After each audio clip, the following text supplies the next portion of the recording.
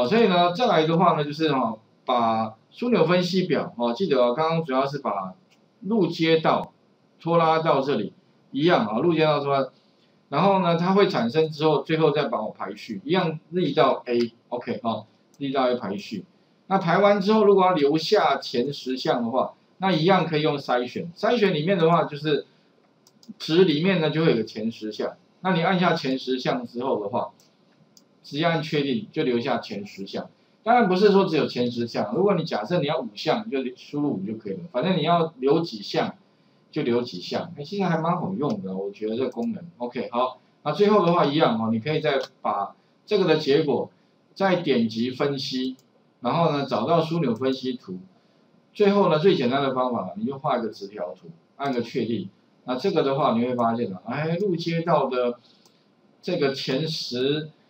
的这个窃盗哈道路呢，就就帮你抓出来，那所以你可以看到哈，哎，窃盗案件最多的第一名哈，其实也不意外了，有没有？OK，好，那第二名忠孝东，可能忠孝东会太长了吧，应该一一段到七段嘛，OK，南京东也是很长，OK，好，内湖，内湖就比较意外了，OK，罗斯福，罗斯福路也很长，OK，长民权哈等等的，所以这些都是。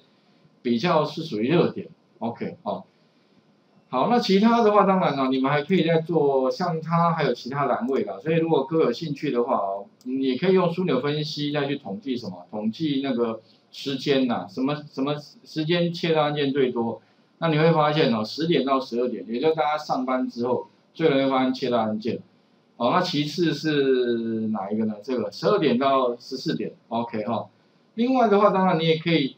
直条图里面哦，其实还可以再加加上所谓的交叉分析啦，就是说各区的数量之外，还可以再加上时间轴，所以哦，里面的话可以直条图里面还有可以再加上比例的哈，这应该是堆叠直条图，有没有？哎，可以在直条图里面呢，再多显示这个比例部分，也就是有点像是直条图加圆形图，但是却要在一个图里面显示的话。也可以用这个方式来呈现，那其实还蛮多的。如果有兴趣同学哦，哎，不妨可以再去看一下那个有没有插入枢纽分析图，或者插入图表，其实结果也是一样哦。那这个部分，我想有兴趣同学自己再延伸去了解一下。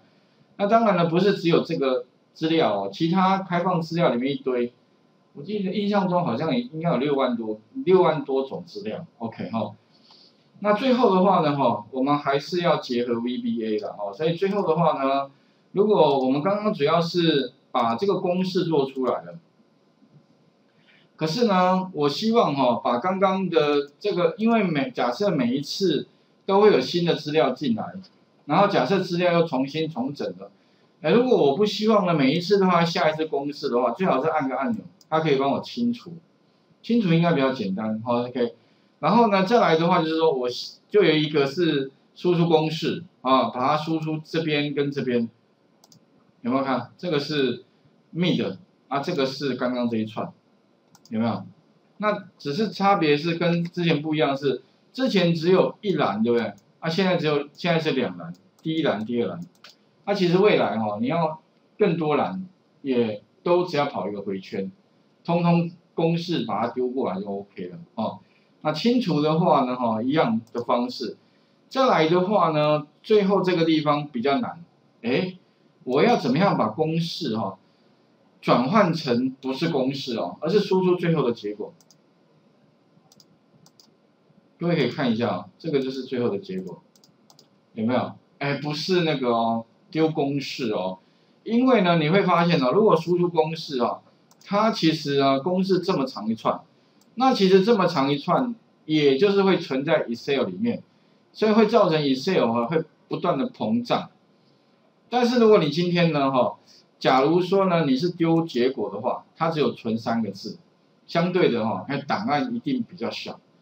第二个的话哈，你会发现哦，执行的效率啊，你会按下去哦，它还在转嘛，大概要转个两秒钟啊。不过其实还好，两秒钟其实算快。可是呢，如果你今天呢用这个。它转都不用转，它马上就 OK 了。为什么？因为它是很快速的就把资料处理丢出去就 OK 了。所以相较之下哦，我发现好像还是执行结果会比较有效率，只是说呢，这个哈难度比较高。怎么说？因为哈，我要怎么样可以把刚刚讲到的这些哇，fine，fine 当然前面讲过，我们 fine 有用转换嘛，你要转成 VBA 的话，哎，还记得哪一个函数吧？有一个叫 inst 啊，那么 inst 这个函数，那当然它的参数刚好颠倒，先找哪个位置的哪一个字，哎，那第二个的话 if where，哎，if where，那 if where 前面我们是用 if 了。我们就不是用 if，就是用 if。如果那总共的话呢，有很多种可能性的话，那特别注意哦。如果啊第二种可能性，你就要记得有个 else if。第二种可能，第三种可能的话呢，在 else if。那剩下来的话就是 else。这个有点像是哈，诶，首先这个是其次。再其次，再其次，那这个就除此之外，有没有？哎，所以啊，它没有那么多了，三种。所以呢，要怎么样把这个转换成这个叙述，那就可以哈，把它变出来。不过还是有点难度，请各位先试试看好了。那待会我们就来完成这三个按钮。OK，好，那画面先还给各位试试看哈。